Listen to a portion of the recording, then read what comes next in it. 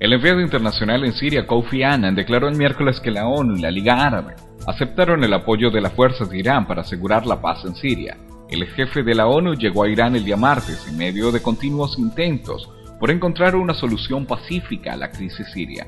Recientemente, Annan informó que el gobierno sirio garantizó que respetará el alto el fuego y añadió que si todos respetan el cese de las hostilidades, por la mañana del jueves podrían verse mejoras en el área. Tras una reunión con el ministro de Relaciones Exteriores iraní, Annan informó que Irán puede jugar un papel clave para alcanzar una solución, ya que es el principal aliado de Siria en la región. Además, el funcionario ha estado presionando a Damasco para que retire sus tropas de las ciudades y ponga fin a la violencia en 48 horas.